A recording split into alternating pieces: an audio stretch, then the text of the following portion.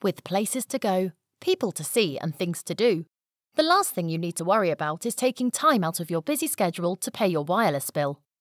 With the new Ultra Mobile app, you can recharge your service from anywhere, so you can keep moving and stay mobile.